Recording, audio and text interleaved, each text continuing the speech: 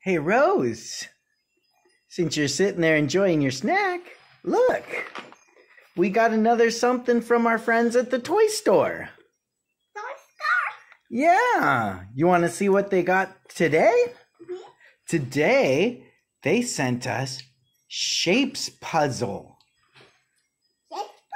Yeah, it says it's wooden pattern blocks. Ooh! Multiple shapes stitching to cultivate children's geometric cognition. Changeable advanced gameplay to meet children's growth needs. So as you get bigger, yeah, it gets better.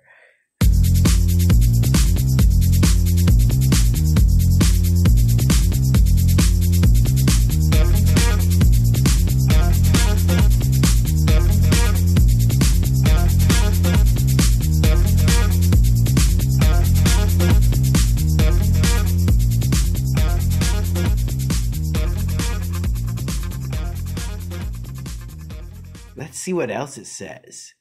It says creative enlightenment stimulate creativity, learning exploration, and intellectual enlightenment. What do you think about that, Rose?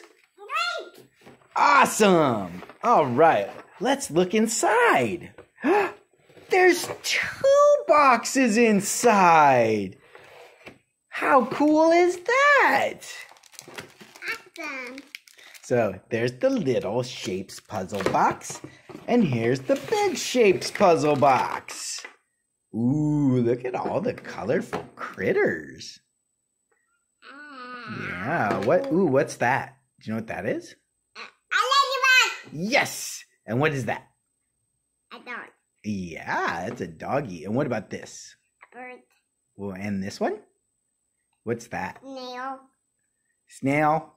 Okay, I'll give you a snail. I think it's the sun, but I see how you see it's a snail.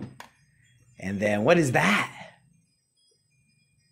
A bird. yeah, An owl. an owl. Okay, well, let's open her up and see what's inside, huh? Okay, let's open it. Okay, open. Ooh, look at all the pretty shapes inside. All right, so we can make all these cool things on the front. Now, let's open the little one. I'll let you play with those, Rose, while I open this one. Okay, now let's open the little one, Rose. Rose, what are you making? A shark. Awesome. Oh, and looky here.